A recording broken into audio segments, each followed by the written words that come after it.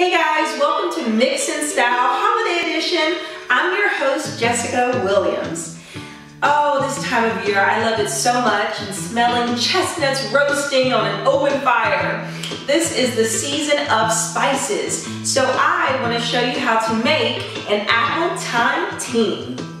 For this cocktail, you just need your basic bar kit equipment, and we're going to use a short martini glass.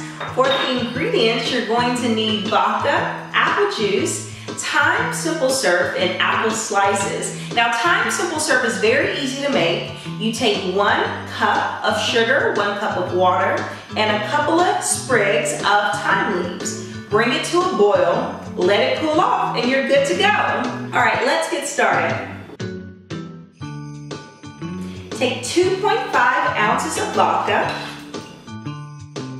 1.5 ounces of apple juice, 0.5 ounces of thyme simple syrup.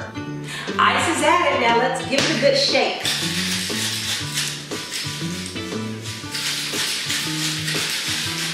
Now that the mixing's done, it's time to style the glass. All right, get your martini glass.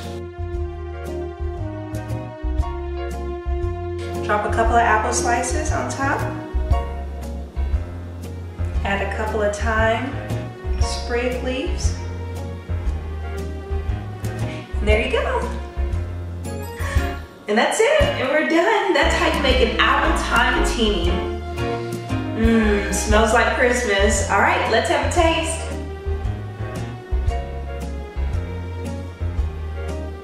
Mm. Ooh.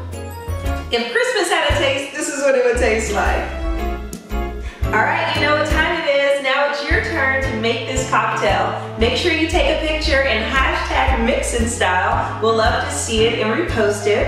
Also be sure to check out our other mixology episodes at mixinstyleshow.com. And be sure to subscribe to our YouTube so that you can know when we make more videos. Merry Christmas,